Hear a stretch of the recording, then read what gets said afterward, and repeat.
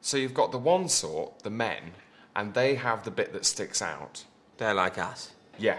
But you think there should be another sort? Yeah, I think there should be another sort. What for?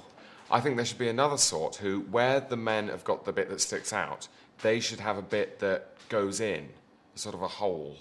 What, to help stacking? Yeah, it would help stacking. They'd really tessellate well.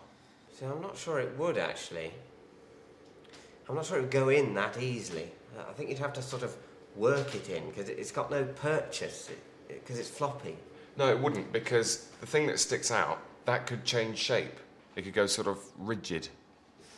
What, when you need to stack them? Yeah, only for stacking. I think that's a bit fussy, just for stacking.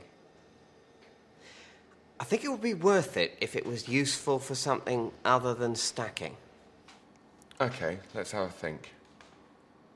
Well, let's just make it simpler. How about the baby comes out of the hole? That's not simple at all. The baby is the bit that sticks out of the man.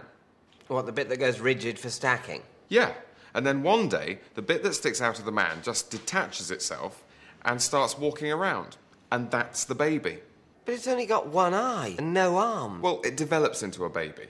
What, and the man grows another bit that sticks out? Exactly. Yeah, but having gone to the trouble of giving the other sort this hole, it's now completely redundant. Well, there's always the stacking. Hmm. See, I'm wondering how often we're going to need to stack them.